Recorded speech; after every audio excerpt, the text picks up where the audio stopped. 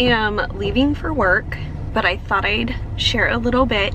Um, we ended up picking a flooring. Um, we went back and forth. We actually left the store with a sample piece of a very, very light, almost whitewashed flooring and literally in 20 minutes turned around and said, forget it, never mind, we made a bad purchase. We wanna, we don't want this flooring. The one we decided on, they said they were discontinuing.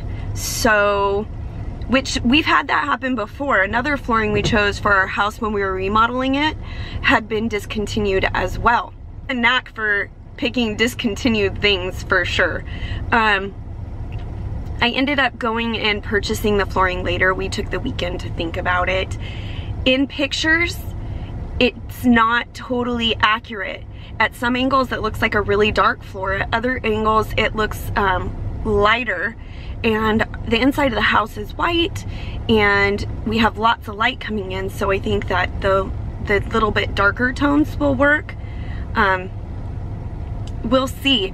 So we didn't go with a laminate or a hardwood floor. We decided to go with a flooring that is um, vinyl, a newer product, and it has a cork board backing.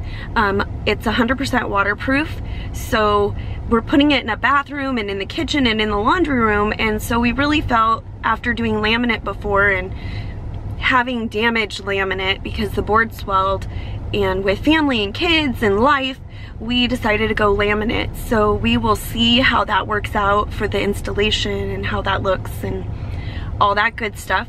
Hopefully it looks amazing and all of our plans come together. But this video is essentially about our little trip to the flooring store. So enjoy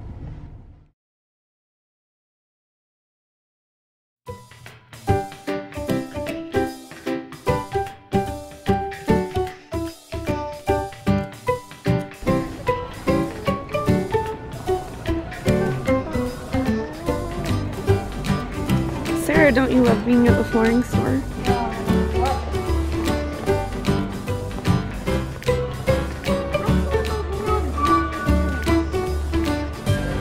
She's probably not even home.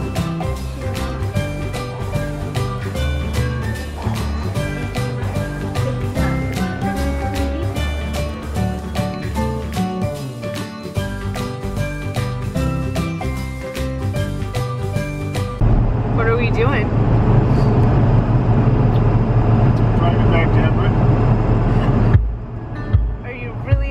About it? This helps. So you guys run. Let me do all the heavy lifting. That's right.